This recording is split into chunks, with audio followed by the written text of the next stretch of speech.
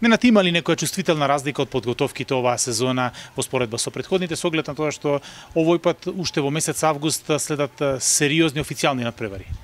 А, да, точно така како што кажа, а, има разлика затоа што ова сезона ја започнуваме многу побрзо од а, предходната сезона започнуваме со официјален надпревар против Вардар во Суперкупот на Македонија и немаме толку многу време доволно за да се за да се спремаме и затоа мора да го брзаме малку процесот.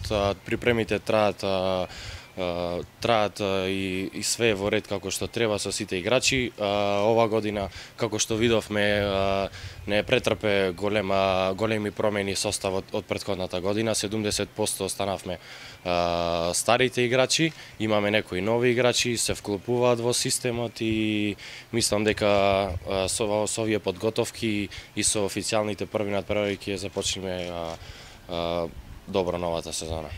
Каква промена е тоа што екипата ќе игра во Суперлигата од првото коло и бројот на официјални надпревари ќе биде многу поголем за разлика од минатата сезона?